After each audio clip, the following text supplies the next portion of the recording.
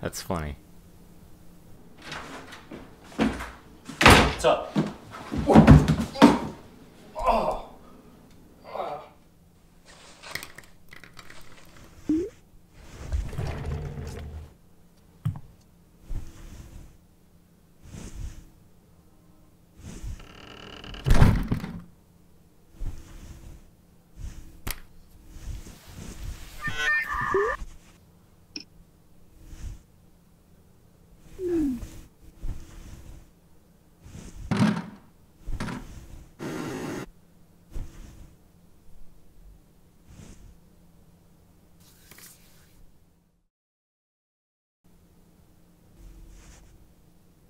We can't be together. I'm sorry. I don't think I heard you right. What did you just say? I said we can't be together. What we have, this relationship, it isn't healthy. Normal people don't treat each other the way you treat me, like I'm, I'm some kind of normal. You want someone normal? Brendan? Do you honestly believe someone normal would ever love you? Someone as pathetic as you? No one else is ever going to love you. So shut your mouth and let's go. No. I'm leaving you. Excuse me? You're wrong. And I'm walking away.